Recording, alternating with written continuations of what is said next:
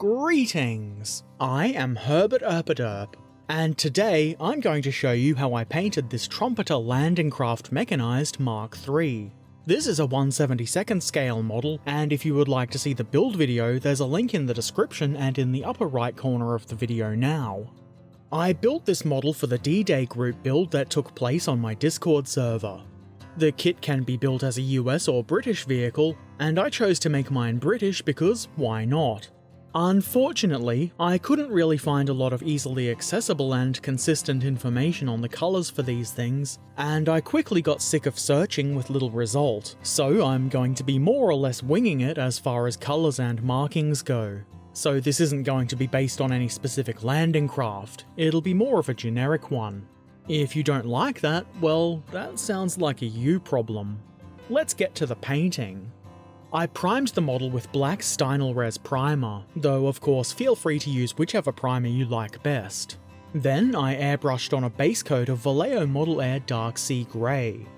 Pretty simple, just paint the entire thing one colour. It's pretty hard to mess that up. That said, it's a good idea to apply this in a couple of thin coats rather than one thick one. I then apply a highlight of Model Air Sea Grey. I apply this fairly heavily from above, though I'm not really going for a solid coating. I do want some of the darker colour to show through. I spray some highlights on the side as well, particularly down the weld seams. I figured that would add some interest. You do see some of these painted with a red or black lower hull, but I'm not going to be doing this. I read somewhere that these would be painted to match the section of the ship on which they were held, so it doesn't really make a lot of sense to have a bright red streak on the side of your grey ship, does it? The next thing I did was to apply a dry brushing with the sea grey.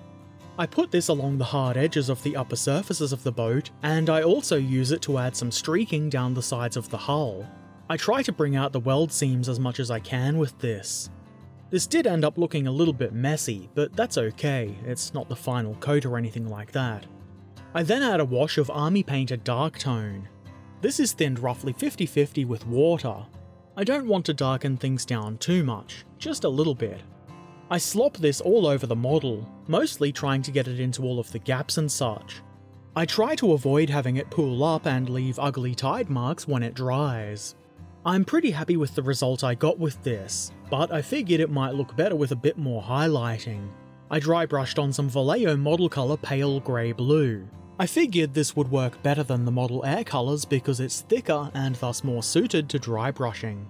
I do this fairly lightly along the edges and the areas I previously dry brushed, just to bring them out again after the dark wash.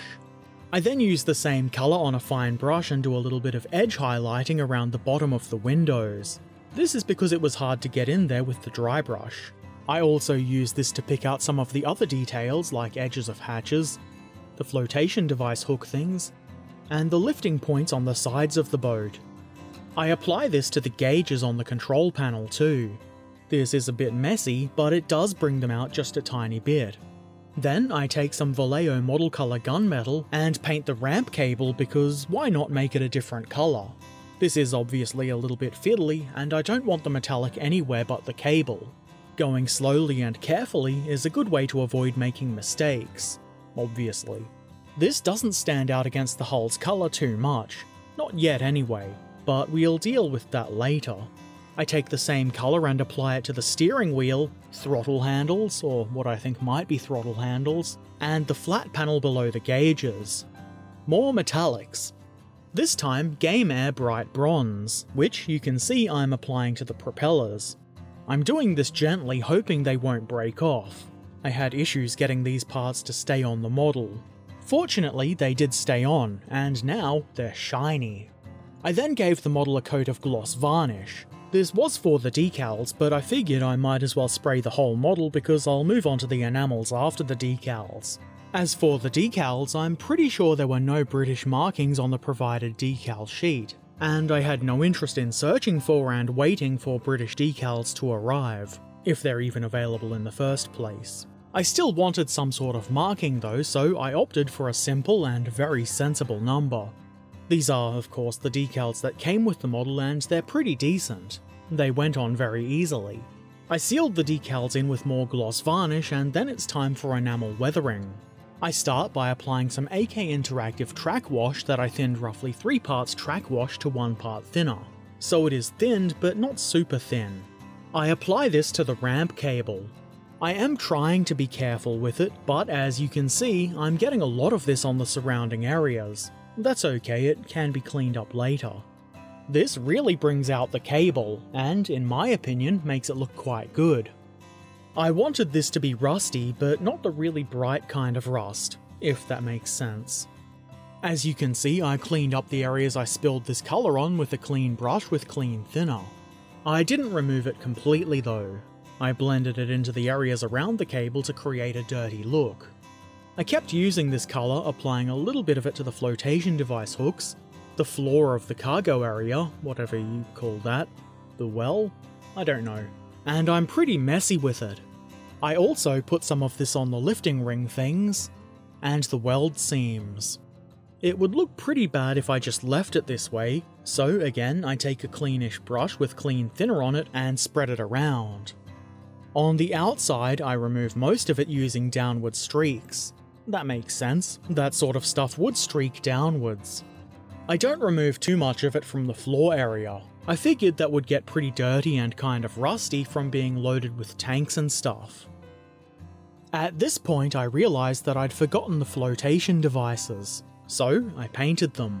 I base coated them with Vallejo model colour ivory. Then, because I'm incompetent, I lost most of the video where I painted these. Anyway, this is what they looked like after I'd glued them into the hull. The red is Vallejo model colour red, Nothing really exciting about painting them, it was pretty straightforward, and I'm sure you could figure it out yourself. Once I'd glued these into place, I applied another coat of gloss varnish to both protect the acrylic paint on the rings and to seal in the previous layers of enamel. Then I take some AK Interactive landing gear wash. I was unable to find the landing gear, so instead I applied this to the propellers to make them look dirtier and less shiny. I also added this to a bunch of other areas, like the rudders, and the bits that hang down forward of the propellers, whatever that's called. I then take a clean brush with thinner on it and spread the landing gear wash out, thinning it and trying to get it to mostly sit in the gaps and such. This won't be so visible when the boat is complete, so I'm not super worried about it being too neat. I also apply it on the bells of the tubers, I mean air intakes, and on the flotation devices. Again, I use a brush with thinner on it to clean it up and thin it out. I removed a lot of this. You can of course remove and reapply this as much as you want until you're satisfied with it. This is one of the benefits of working with enamels. Here is something that I figured might be a good idea. I put landing gear wash on the brush, then dipped it in thinner, then I tap the brush to cause drops of colour to fall off and into the boat's hold. This of course requires the brush to be loaded, but it's pretty simple to do. You can also hit the brush against the side of the model, which seems to make smaller droplets. I think the effect is pretty decent. I continued adding the same enamel colour to various areas of the landing craft, in the corners and recesses around the hull and such. As before, I apply and remove it as much as I feel is necessary. I'm trying to make the boat look used and a little bit dirty, but not absolutely filthy. I streak any stains on the sides of the vertical surfaces downwards because that makes sense. I then move on and use AK Interactive engine grime to make some spillages on the rear deck, and in front of the forward hatch, because why not? I also used the same splattering technique as before with this colour, just to add some variation to those stains. Then clean brush and clean thinner again to thin out those stains. Except in the cargo well, they can just stay how they are. Then I applied some AK Interactive Light Rust Wash. I figured this should be applied sparingly. This isn't an old rust bucket after all. As you can see, I applied it streaking down from the lifting things, along the weld seams, and where the cable connects to the ramp. Would you be surprised to learn that I then took a brush with thinner on it to thin this out and streak it downwards? Well, that's what I did. I removed most of the rust. Again, it's an active boat, and I suspect sailors would be made to clean and repaint anything before it became too rusty. It keeps them out of trouble, you see. And that's about as far as I really want to go with the weathering. It looks cleanish, without being unrealistically clean in my eyes. It's been used, but not had the crap beaten out of it. Not yet anyway. I finished the model with a coat of matte varnish. I'd ran out of my preferred AK Interactive Ultra Matte, so I used Minitaire Flat Coat, which did work, but not as well as Ultra Matte does. But I suppose that's okay. I wouldn't expect a boat like this to be totally dry anyway, so a little bit of sheen here and there is fine. As an extra touch, I sprayed the waterline area with gloss varnish, the idea obviously being to represent that area as being wet. I'm not sure how well it picks up on camera, it's pretty subtle in person, but I thought it would be a nice touch. Not quite as nice as mounting it in some resin water or something, but I'm not sure I want to do that at all. I still might though, we'll see. I have obviously completed this way after D-Day. I did try to get it done in time for the end of our D-Day group build, but as always, things come up and delays happen. At any rate, I'm pretty happy with the result I've achieved. It might not be a perfect replication of an LCM3, but I think it's pretty good. As I said earlier, it isn't meant to be a model of a specific boat. It just seemed like far too much work to even begin tracking down the relevant information. So it's a generic boat with a good, sensible, and not at all rude number. I am thinking about adding a load to this landing craft. These carried vehicles and troops to the beach on D-Day, but I probably won't fill it with infantry, so it's likely going to be a truck or a tank or something like that. Maybe I'll get that done for next D-Day. It's not a priority now, but I'm certainly keeping my eye out for something cool in 172nd scale. As always, for those interested, I'll include a list of the paint colours I've used in the description below. Feel free to copy what I've done here, or use the list as a suggestion and choose whichever colours you would prefer. If you've painted one of these yourself, we would love to see it in the modelling section of my Discord server. There's a link in the description. What do you think of this boat? Should it have been pink? Let me know in the comments below. Unless you're going to whine about it being unrealistic or something maybe just keep that to yourself. If you haven't already, feel free to subscribe, follow, ring the bell, and all the other things you do on YouTube and social media. Links to all of the things, including Patreon and my Twitch channel, are in the description below. You can also find the join button down there somewhere too.